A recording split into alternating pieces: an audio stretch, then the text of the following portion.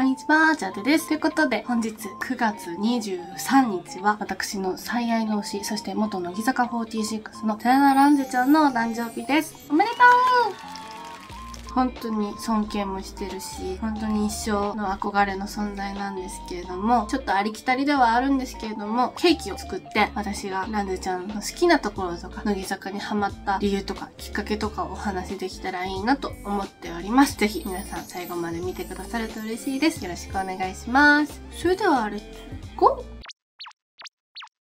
ってことで、去年はなんか普通にショートケーキみたいなので色つけてみたいな感じでやったんですけど、今回はランジちゃんが好きなチーズケーキを作りたいと思います。まあ一応ダイエット中みたいな感じなんで YouTube で調べて低糖質みたいな良さげのやつを作ります。でも私はあんまチーズケーキが好きじゃないんですけれども美味しいのを作れたらいいなと思っております。今クリームチーズ柔らかくしたの。あラカンとなんかラカンと買おうと思ったら高くてお母さんに何ならあるって言ったら掘りごともあるって言ったんで心配なんですけど入れます。えいえいえいえい。えいマジマジそんでオイコスの無と丸々1個オイコスとか食べたことないやまたキッチンやろうかなと思ったんだけど、カメラの設置難しかったので、結局私の部屋にしました。よしよしよし。そんで、卵。え、卵部屋で割んの？怖っ。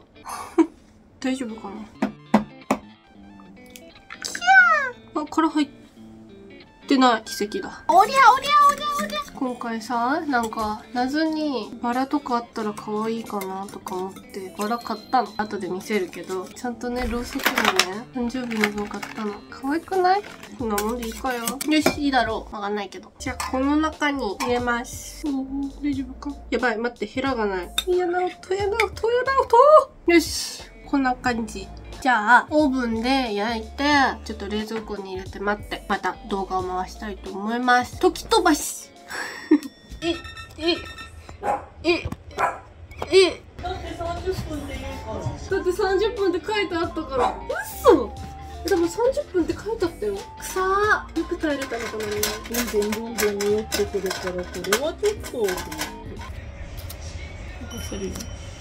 剥がすか。マジ？えー、どうします剥がしますまあまあまあまあまあまあまあまあまあまあまあまあですよね。はい。カメラ越しで見たら。あ、まあまあまあ。はい、ということで、じゃーん冷えました、多分。見た目ちょっと寂しいよね。チーズケーキです。多分美味しいと。さっき見せたろうそくをつけて、お祝いムードに行きたいと思います。マジで一時はどうなるかと思ったよ。焦げちゃったんだもん。またリベンジしたい。ちょっと悔しい。結構悔しいから、今度はもっと時間がある時にうまく作りたいです。じゃんかわいい !923。めっちゃかわいいじゃん。ちょっと火つけるのは怖いんでちょっとやめときます。さっきお話ししたバラめっちゃ可愛くない ?3 本にしました。赤2本で白のバラを1本にして、サイリウムカラーが赤と白なのでね、赤と白にしました。花言葉が色々あって見た結果、まあ3本が一番いいかなと思って3本にしました。めっちゃ可愛い。私、お花を自分で買うの初めてかも。自分のためにというか、部活の顧問が移動しちゃうから、みんなで武器を渡そうみたいなので買ったりとか、渡したことはあるけど、我が家に飾るように自分のお金で、みたいな。なんでちゃん用のものなんだけど、我が家に飾るもので、っていうのがすごい初めてだから、なんかすごい幸せな気分です。綺麗でしょ？とってもお気に入りです。ランジちゃん。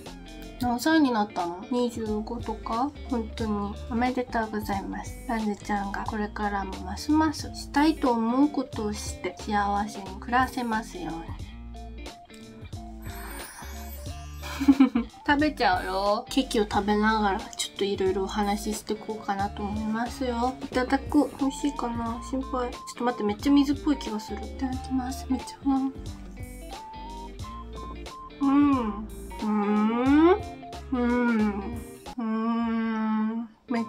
しいとは言えないかも。めっちゃ分離してる気がする、これ。うん。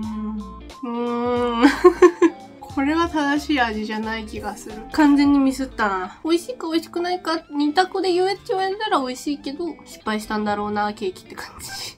まあそんなのは置いといて私はお話ししますね。私がランジュちゃんのことを初めて知ったのは、お兄ちゃんが録画してた乃木中をテレビで見てたんですね。それがちょうどグアム編だったんですよ。そこで、まあアンダーメンバーとしてランジュちゃんがいて、なんかの問題でランジュちゃんがすごい可愛いミスをしたというか、まあまずランジュちゃんを見た瞬間に、なんかすごい素敵なオーラを感じて、それで私はもう一目惚れしました。お顔も可愛かったんだけど、どっちかっていうと私、当時のメンバーの中でお顔のタイプ誰だって言われたら多分アスカちゃんなの。だけど、タイプどうこうじゃなくて、ランデちゃんからなんかすごいオーラを感じて好きになって、何回も何回もそのグアム編を見返して、そこからもう乃木坂が好きになって、本当にランデちゃん一筋みたいな。なんで好きなの？って言われたら、全部って答えちゃう。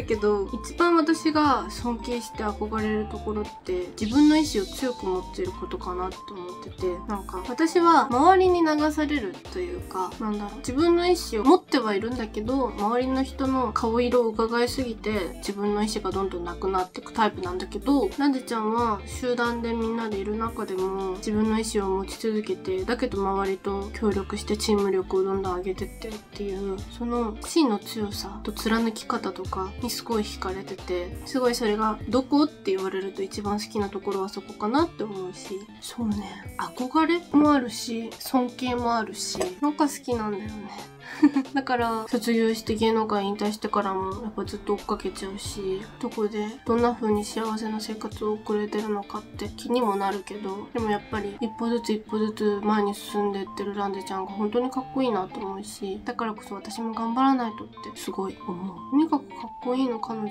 なんだけどバラもさよく言うじゃん。こんな綺麗なさ見た目をしてるけど時があって外敵から守ってるというか私はバラがどんな花かも知らないしそんなお花とか植物とかにも詳しくないからわからないけどもうバラ自体がランデちゃんだなってすごい思うというか一歩一歩進みながら自分らしくいるところは自分を貫き通すというか本当にすごいしかっこいいなって思う。もっと乃木坂で活動してる姿を見たかったし正直に言えばねもっとアイドルしてる彼女を見たかったしだけど今すごい楽しそうだからって思う。一ファンの意見だよ。このままずっと幸せでいてって思う。だって前の「ポップアップ福岡の前に東京で会っててそのポップアップに行った時に初めてダンゼちゃんを目の前で見て会えて初めましてで。本当にやっと会えた感が強かった。っていうかうわ本物だと思ったけど本当に本物かなと思っちゃった。でもあのちょこちょこした可愛い歩き方も変わんなかったし